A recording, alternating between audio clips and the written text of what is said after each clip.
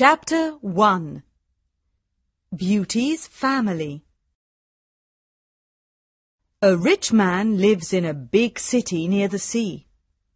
He has got three daughters and three sons. One daughter is called Beauty because she is very beautiful. The other two daughters are called Rosalind and Hortensia. They are lazy and unfriendly. They like going out and having fun. They both want to find a rich husband. They do not like Beauty because she is beautiful. Beauty has got long red hair. She is kind and friendly. She likes staying at home and reading books. She also likes playing the piano. Beauty's father is a merchant. One day, he loses all his money because his ship is lost at sea. My dear children, He says sadly, I haven't got much money. We're poor. We must leave this big house and go and live in the country. Oh dear, say the two sisters. we're poor. This is terrible. What, bad luck! Say the three brothers, We have to work now. says Beauty's father. Work? Say the two sisters. No, we don't want to work. And we don't want to live in the country. They start to cry. Beauty is sad, but she says, Let's not cry. We can work and be happy without money. The family goes to the country and lives in a small house. Beauty gets up at four o'clock every morning to clean the house and cook. Then she washes the family's clothes in the river. The three brothers work in the country. Rosalind and Hortensia do not work. They do nothing all day. They sleep all morning and walk in the woods in the afternoon, I'm unhappy. says Rosalind.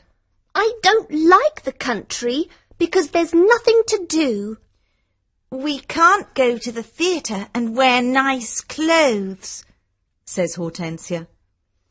and we haven't got any friends. Look at Beauty. says Rosalind angrily. She works and she's happy in this terrible place. Beauty's father says, Dear Beauty, you work a lot and you're always happy. You're a wonderful daughter.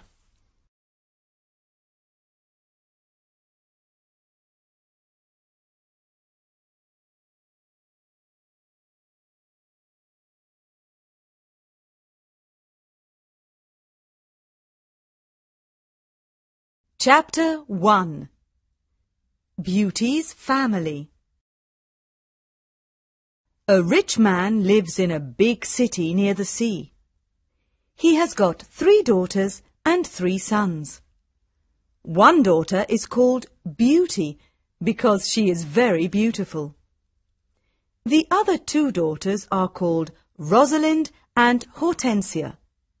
They are lazy and unfriendly. They like going out and having fun. They both want to find a rich husband. They do not like Beauty because she is beautiful. Beauty has got long red hair. She is kind and friendly. She likes staying at home and reading books. She also likes playing the piano. Beauty's father is a merchant. One day, he loses all his money because his ship is lost at sea. My dear children, He says sadly, I haven't got much money. We're poor. We must leave this big house and go and live in the country. Oh dear, say the two sisters. we're poor. This is terrible. What, bad luck! Say the three brothers, We have to work now.